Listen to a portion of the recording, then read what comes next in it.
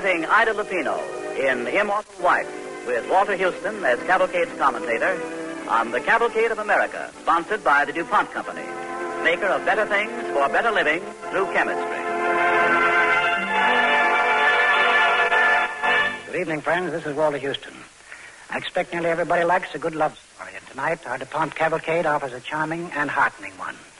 It's the story of Jessie Fremont and her famous explorer husband, General John Fremont, adapted for radio from the best-selling book Immortal Wife by Irving Stone. Our star is a lovely and talented young actress who is a favorite of yours and mine, Ida Lupino. I believe that Ida and many other neighbors here in Hollywood who know our play will agree with me when I tell you that it is a rich and satisfying romantic portrait of a great woman's devotion to a man. Now, here is Ida Lupino as Jessie Fremont in The Immortal Wife on tonight's DuPont Cavalcade.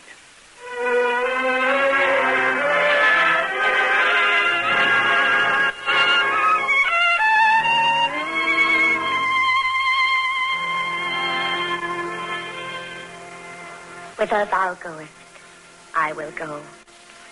Those words from the Bible, the immortal pledge of Ruth, I spoke aloud and in my heart. And if I'm still remembered, it is because I kept that pledge.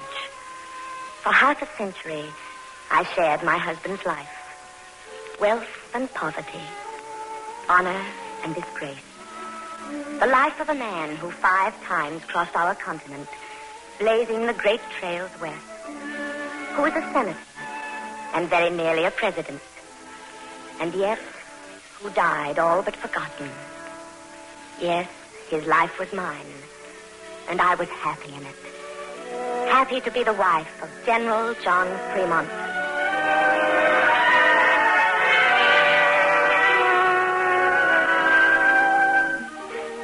It began. Well, it was spring, and I was 17. And John was a very handsome young army lieutenant. And one bright afternoon, we climbed together to the top of a mulberry tree outside Miss English's Girls Academy in Washington, D.C. Oh. oh, Why are you laughing, Miss Jessie? to see you climb this tree, Lieutenant. I scarcely believed you'd risk your fine blue breeches. well, I'm an impetuous man. That's plain to see. Interfering like this with the routine of a girls' school. And how does it happen the Army lets you wander loose on a Wednesday afternoon? Well, Monsieur Nicollet told me to clear out. Said I have spring fever. I was drawing a girl's face on his map instead of mountains and rivers. Mountains and rivers. It's Nicollet's map of the Western Territory for the expedition he plans to make next year. Oh, yes. Yes, I've heard my father talk about it. Planned it for 20 years. And if Congress gives him the money, I'll go with him. All the way to the Rockies. Oh. But how long does an expedition take? Well, that rather depends on how far you go, Miss Jessie. This one will take eight months, maybe ten. Why? Well, it's a long time. That's all. Miss Jessie, Yes, Lieutenant Fremont. you uh, didn't ask me what girl's face it was I drew on Nicollet's map. But I know. You do? And I was so afraid you wouldn't tell me till after next year.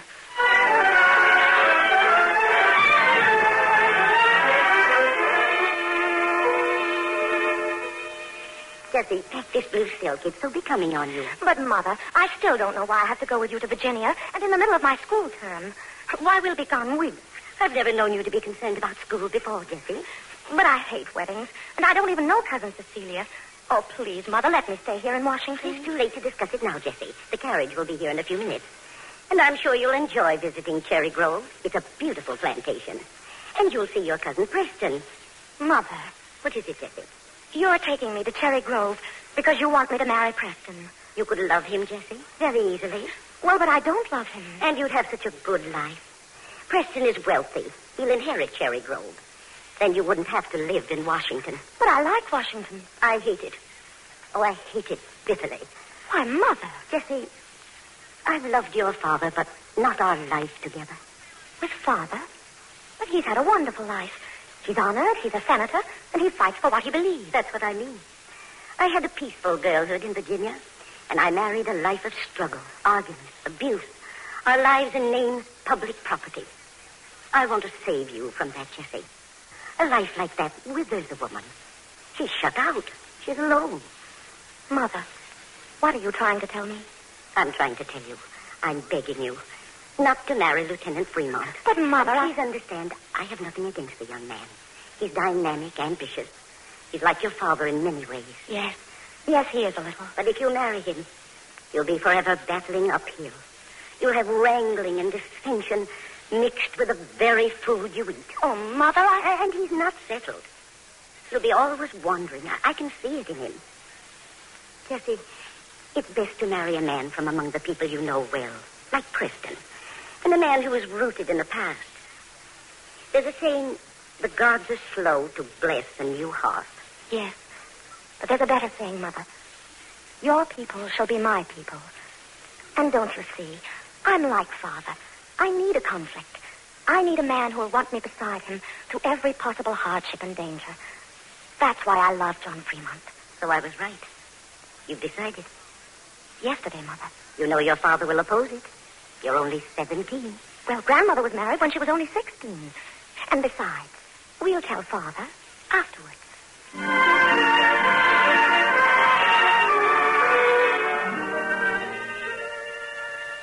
Do you, Jessie Ann Benton, take John Charles Fremont to be your lawful wedded husband, to love, to honor, and obey, for better, for worse, for richer, for poorer, Yes, in sickness yes. and in health? For you, John Fremont. I give up all. I give up Cherry Grove, the satin gown. I give up lace and bride cake, flowers, crystal, all the rich tradition, all familiar things. The name carved on the door, the monogram, the friends I knew, to place my feet beside yours So on any path you choose. John Fremont. Until death do you part. Do you so promise? I do.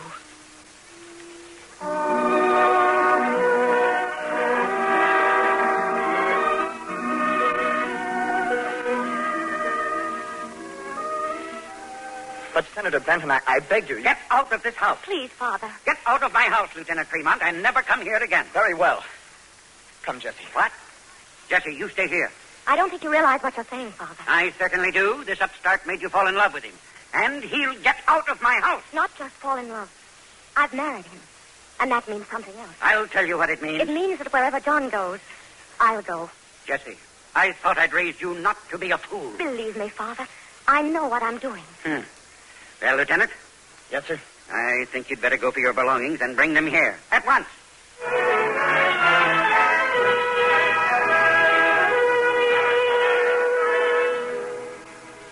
1841. A nation pressing back the frontiers, hungering for the West. In our first months of marriage, I caught that hunger through John and his plans. Then Congress passed a bill for the expedition to the Rockies to map the Great South Pass. It meant our first separation. So much time and distance between us. Yet how could I ask him to stay, or even wish it? For it meant so much to him. Then, during the party celebrating our victory in Congress, Nicholas Nicollet, who would command the expedition, took me aside. Well, Miss Jessie, it is good to see you with Lieutenant Fremont. I just said to your father, how beautiful is young love. I suppose it is my Gallic romanticism. Well, I'm not from France, Monsieur Nicollet, but I like young love, too. yes, yes. Uh, Miss Jessie, there is something I wish to tell you. Oh, Monsieur Nicollet, it isn't. Yes? Well, surely John is going on the expedition as your second in command. He is going as first in command because I am not going. I am too ill, too old. But this is the most important expedition since Lewis and Clark. And you've worked for it for 20 years. No, no, I have done my job, and I am an old man. So, of course, I have nominated Lieutenant Fremont as my successor. Well, are you happy, Miss Jessie? Oh, yes. Yes, of course, of course. Then let John see that you are so happy. Always let him see. Why, I couldn't be anything else, Monsieur Nicollet. Perhaps. But sometimes you may not be so happy. I know these partings, and I understand how it is for a woman to always wait. Miss Jessie, you and John believe you must share each other's lives completely. I know. But do not, I beg you, try to share all the pain.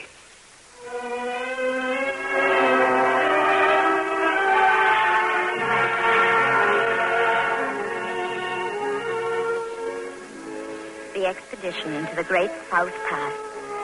The expedition that would plant the American flag on the highest peak of the Rockies. Well, I tried to follow John even there.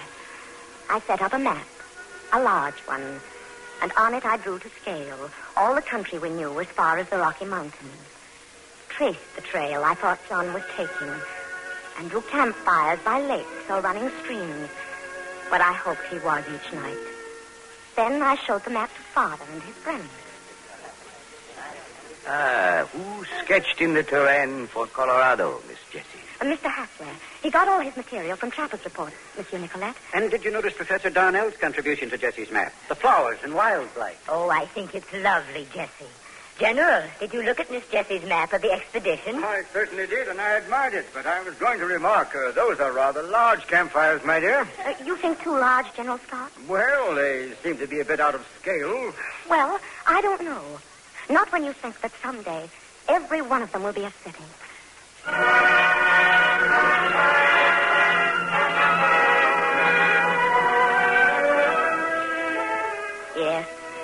I tried to follow John with that map, but I wasn't with him. I knew that October morning when he came back, when I saw his haggard face and learned from him some of the dangers, the disasters just averted. It had not been my life. For he was a man fresh from struggle and conquest. And I was still only a fine Washington lady.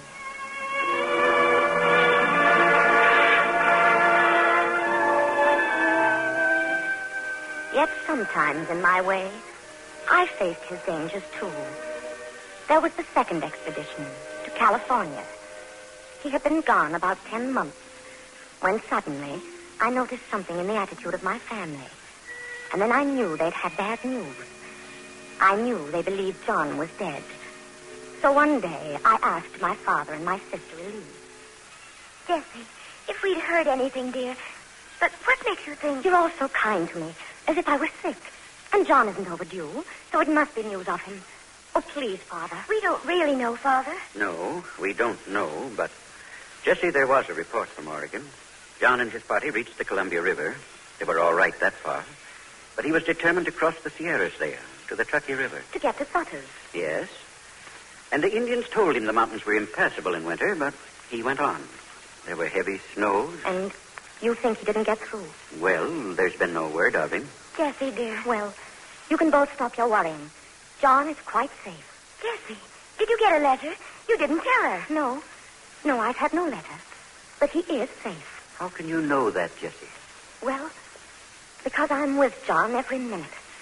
I feel I'm with him. So don't you see? I have to know.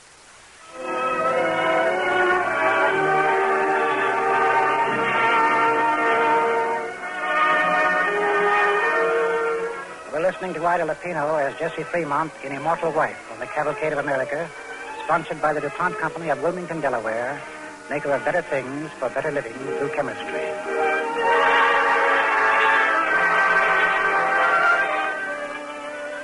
Tonight's cavalcade play is the love story of Jessie and John Fremont and of the unswerving devotion of a woman for her man.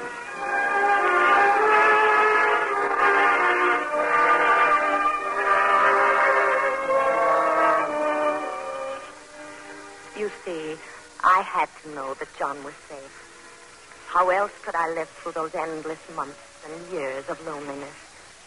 For even after our children were born, my only real joy was the joy I knew when John was back beside me. Fourteen months. Yes, John. And you have no luck, my poor darling. You come home to find me skinny as a starved cat. You never looked more beautiful to me, Jessie. Oh, I thought you were never coming back. You knew I would. Well, yes, I knew. And, and, and wait until Congress sees my maps and reports, Jessie. They'll want another expedition, I'm sure. They, they will. Why, do you realize I, I found a straight route and a new path into California? Right into the Sacramento Valley and, and as good as the Oregon Trail. Better, maybe. There's talk of war with Mexico. And Well, if that happens, the Army can go in over my trail. Yes, John. John, what happened in the Sierras? That's what I've been telling you. We crossed from the Columbia River. But we had a report. You were in danger. Only the weak die on the trail, Jessie. Why, it was the greatest experience of my life crossing that 14,000 foot wall of ice. And after the Indians had told us it was impassable, we made it. Even though we were half dead. You should have seen us. Yes, I. I wish I had. You can't imagine. What'd you say, Jessie? I said I wish I'd been with you when you crossed. You know, you're plucky enough to mean it. But you will travel that pass someday. Just wait till they put the railroad through.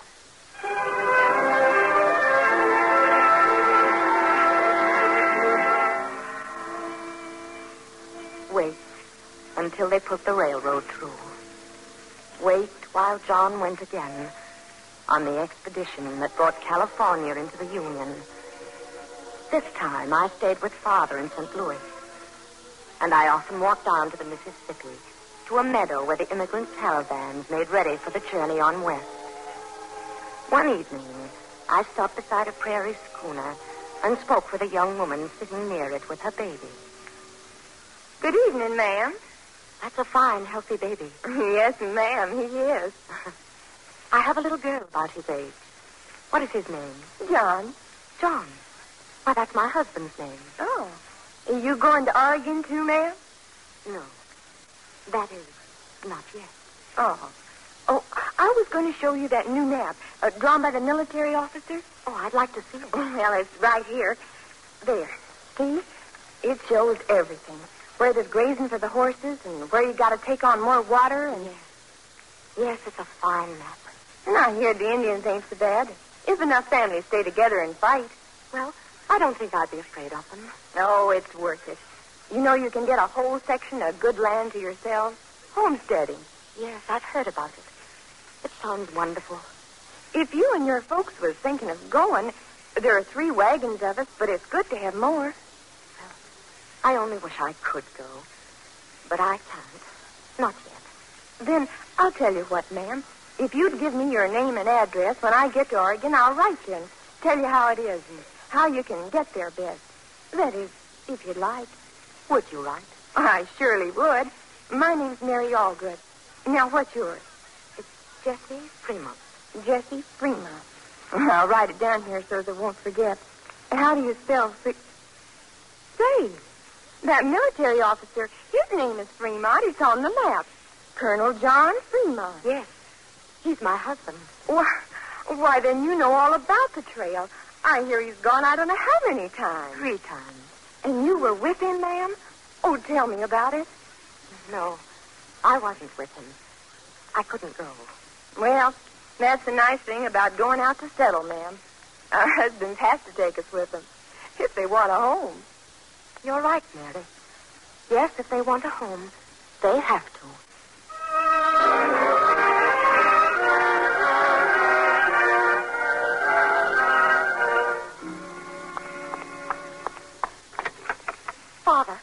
Father, a wonderful afternoon. Why, what's the matter? Is there something wrong? I have a letter here, Jessie. Close the door. The letter's from Washington. Bad news of California. John? He's all right, physically, but he's quarreled with General Kearny. He refused to recognize General Kearny's command in California because he'd been serving under the naval commander who's been stationed there longer. But that seems right to me. Well, John's been relieved of his command and is ordered back to Washington. Oh, thank heavens. You don't mean that, Jessie. Didn't you say John's coming home? But you don't understand, my dear. John is coming back to Washington under arrest. Oh. And it's a frightful injustice. John undoubtedly had secret orders for what he did, but it's the end of his army career. Well, there are other careers. What will he do? What will John do? You should know, Father. He's a fighter like you. And I'm glad, because John and I can fight this together. He won't be at the ends of the earth with me not knowing and not able to help him. I married John for a partnership, Father. I haven't had it, Jessie, you've been a good wife. but not a partner. Now I will be. Jessie, if John leaves the army, he'll still be an explorer. It's his profession. What can you do if he goes on another expedition? What I should have done from the start. I can go with him. And no matter how this trial ends, I will go with him. The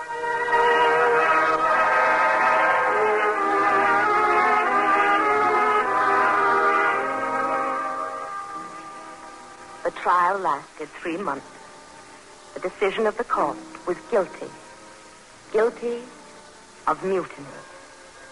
And even though the president pardoned him, John resigned from the army. He suffered then, I know. But I had him with me and was content. For I knew that day would come when John would regain his old enthusiasm. Jessie. Jessie, darling, your father's arranged another expedition for me. Father did? Yes. Some of his friends in St. Louis want to build a railroad to the Pacific coast. They want a southern route that can keep open all winter. And they want you to find the path. Of course. Who else could find it for them? They'll pay me partly in railroad stock. Uh, here, here's the letter. Let me see it, John. How soon do you go? Well, not so fast. It doesn't say when, but when you can see it's all settled, I could leave by the end of September. Jessie, don't look so bleak. I won't be gone more than a year. Probably not that long. John, I'm going with you. With the children? All the way to California? Of course. Why not? John, I didn't marry you for separation. I'll stay with you, Jessie, if you ask. But I didn't ask. And I don't want it. I don't want a husband who's useless and hates himself because he's useless. I married you, John Fremont, for a life with you and a home with you. And I'm going to have a home, even if it's only a covered wagon. Jessie, you don't know how hard it is. I've talked with women going west with their families. Women with babies. Old women, young girls. They don't stay behind. But, Jessie, they're going out to settle. And so am I. You found those trails for the settlers. And thousands have crossed the Great South Pass. Thousands have followed your map to make their homes out there. And now we are going too.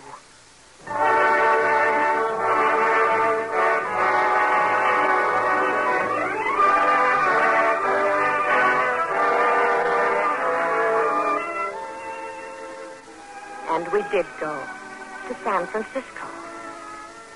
That was our first home. We found gold there and a new love of land. And John was senator from California. Then he ran for president, but was defeated. And then there were the long years when his country forgot him. But always we were together. And I remember often the words my mother said. The gods are slow to bless a new heart.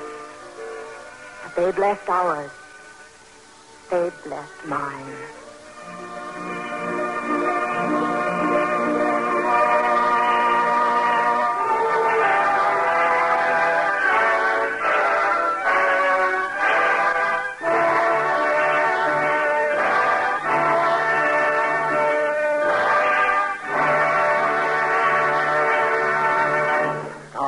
To you, Ida Lupino, and to all the members of tonight's DuPont Cavalcade.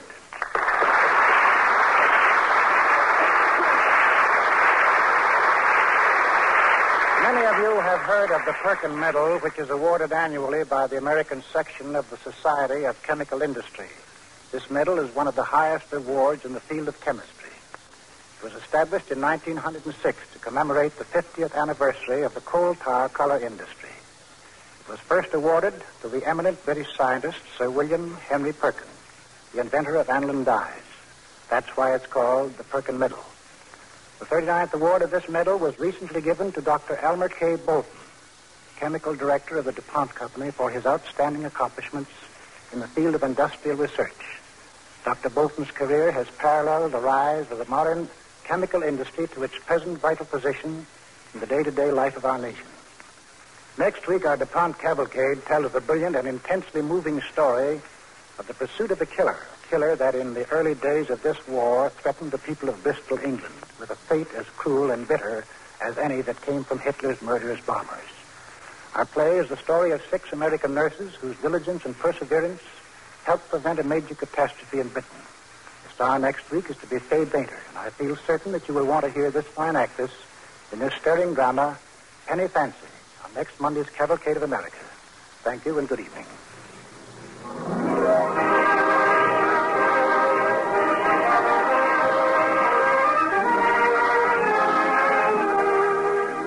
Tonight's cavalcade play was based on Irving Stone's best-selling biography, Immortal Wife, and adapted for radio by Sylvia Richards and Halsted Welles. Miss Ida Lupino, star of tonight's program, may now be seen in the Warner Brothers picture Hollywood Canteen.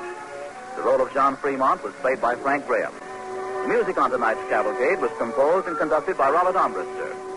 This is Gayne Whitman sending you best wishes from Cavalcade sponsor, E.I. DuPont, de and Company of Wilmington, Delaware.